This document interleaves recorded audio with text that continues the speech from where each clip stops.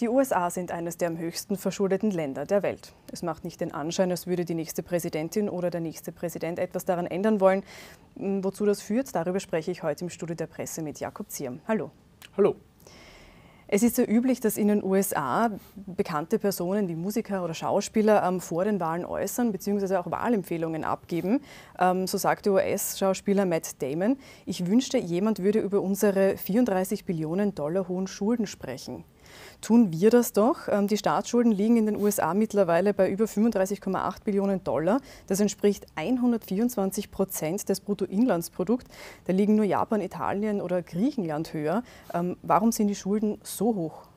Ich meine, da muss man ganz kurz ein bisschen äh, zurückschauen in die Vergangenheit bis in die 70er Jahre waren die US-Staatsschulden eigentlich relativ okay mit 35 Prozent. Dann kamen die 80er Jahre. Ronald Reagan hat das berühmte Wettrüsten gegen die Sowjetunion gemacht. Das wurde gewonnen schlussendlich. Der Ostblock ist zerbrochen. Das hat aber die Staatsschuld massiv aufschnellen lassen auf ca. 70 Prozent, also sie sich ca. verdoppelt.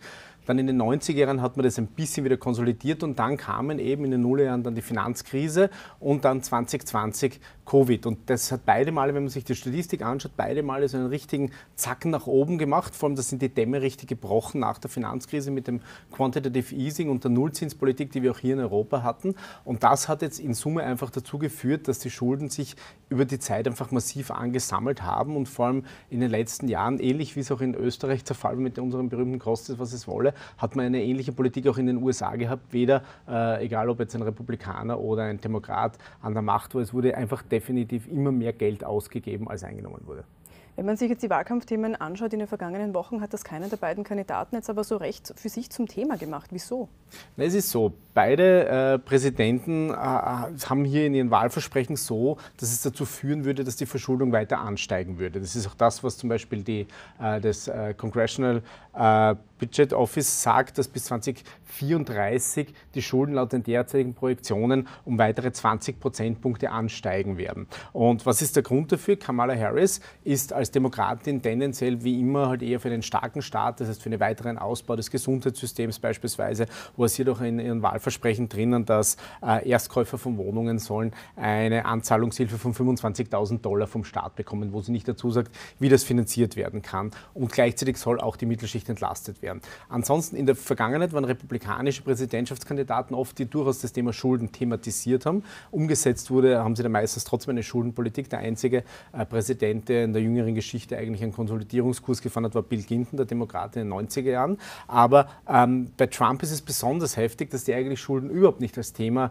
thematisiert, weil er auch in seiner ersten Amtszeit zwischen 16 und 20 ganz massive äh, Steuersenkungen gefahren hat. Und diese Steuersenkungen führen heute noch dazu, dass die Verschuldung so hoch ist. Das heißt, die ähm, äh, Ökonomen sagen sogar, dass unter dem Präsidenten Trump die Verschuldung wahrscheinlich noch stärker steigen würde als unter einer Präsidentin Harris, äh, was durchaus ungewöhnlich ist. Also er verspricht ganz viel, möchte die Zinsen, äh, die, die Steuern weiter senken und spricht eigentlich davon, dass der Staat sich mehr oder weniger durch die Zölle, die er neu einführen will, äh, finanzieren soll. Wie das gehen kann, ohne dass da hier äh, die Wirtschaft zusammenbricht, ist schwierig zu sehen. Aber im Endeffekt ist eines klar, beide US-Präsidenten werden Schuldenpräsidenten sein und deswegen thematisiert auch keiner, dass der andere da so handeln wird. Niedrigere Steuern heißen weniger Einnahmen. Ähm, zum Defizit kommen wir gleich. Ähm, zuerst aber noch die US-Finanzministerin Janet Yellen hat schon öfter gefordert, die Schuldenobergrenze, so wie sie in jetziger Form eben gestaltet ist, die wird eben regelmäßig festgelegt, dass man die ändern soll. Ähm, wäre das gut? Naja, das ist eine schwierige Frage. Eigentlich ist diese Schuldenobergrenze ist ein bisschen natürlich ein Machtspiel. Das sehen wir alle paar Monate oder zumindest ein, zwei, äh, einmal im Jahr circa kommt das. Äh, da geht es dann immer um die Mehrheitsverhältnisse im Kongress oder im, äh, im, Senat, ob diese Schuldenobergrenze quasi weiter verlängert wird. Und da droht dann immer dieser Shutdown des gesamten Landes, dass kein Staatsbediensteter mehr Geld bekommt, dass vielleicht die Anleihen nicht gezahlt würden, dass die Nationalparks geschlossen werden, etc. etc. Das ist, das ist immer ein großes Thema. Am Ende immer, geht es immer durch, weil jeder weiß, das wäre so, so ein Wahnsinn, wenn sie das wirklich machen würden. Deswegen wird es immer wieder verlängert. Das heißt, man würde sich dieses Spiel, würde man sich äh, ersparen sozusagen, dass eh eigentlich mehr ein, ein, Machtspiel ist. Das Problem ist nur, die Schuldenobergrenze hat durchaus auch einen Sinn. Gibt, haben ja viele andere Länder sie auch deswegen eingeführt, auch in Europa, wo das sehr gut funktioniert.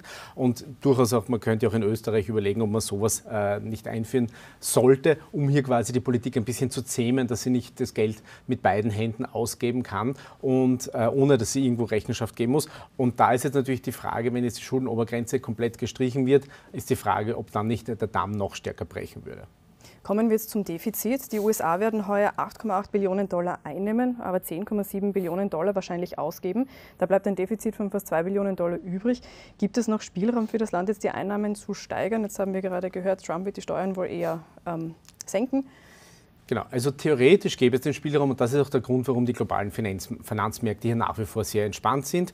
Die USA haben eine Abgabenquote von ca. 29 Prozent, in der Eurozone liegt es im Schnitt bei 46 Prozent. Das heißt, theoretisch könnten die USA hier noch deutlich die Steuern anheben und würden immer noch unter dem europäischen Niveau sein und könnten so ein Problem lösen.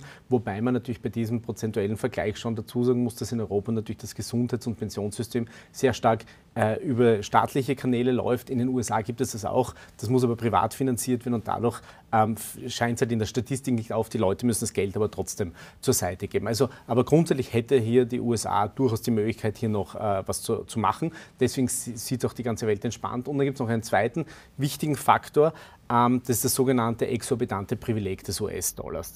ähm, dieser Begriff wurde vom ehemaligen französischen äh, Präsidenten Valéry Giscard d'Estaing äh, geprägt und er hat damit gesagt, der US-Dollar ist halt die Weltreservewährung. Das heißt, ähm, es, egal, wenn die USA Geld drucken, wird es immer eine Nachfrage nach diesen US Treasuries geben, in denen ja das Geld gedruckt wird, in neuen Staatsanleihen. Deswegen kann nie so ein griechisches Szenario passieren, wie es ja in Griechenland Anfang der 10er Jahre war, wo einfach das Vertrauen der internationalen Investoren verloren gegangen ist und Griechenland wirklich das Thema hatte, kein Geld mehr für seine Schulden zu bekommen. Das kann in den USA nicht passieren, solange der US-Dollar einfach die globale Leit- und Reservewährung ist. Und deswegen sieht es auch die ganze Welt ein bisschen entspannt und man weiß aber natürlich nicht, was passieren würde, wenn diese Verschuldung dann irgendwann einmal einmal noch stärker steigt. Ähm, es hat schon eine gewisse Bedrohung und der IWF warnt auch und sagt auch, die USA müsste einen Konsolidierungskurs fahren.